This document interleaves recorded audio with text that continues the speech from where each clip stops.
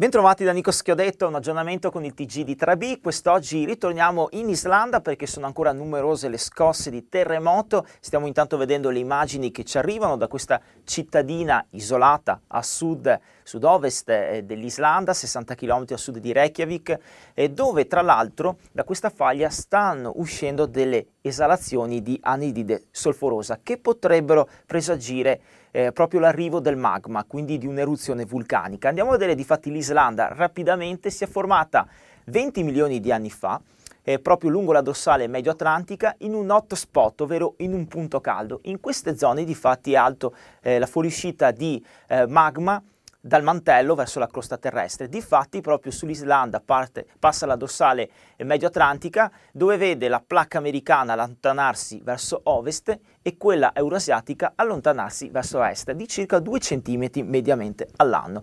E quindi tutta la zona, soprattutto la parte sud-occidentale, è costernata di vulcani attivi e frequenti sono i terremoti.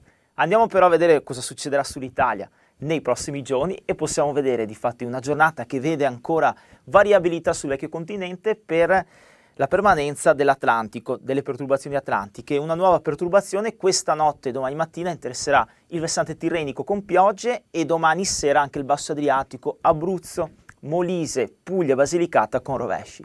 Venti tutti forti domani di maestrale con mareggiate sulle coste esposte, raffiche anche fino a 70-90 km orari sul basso Tirreno.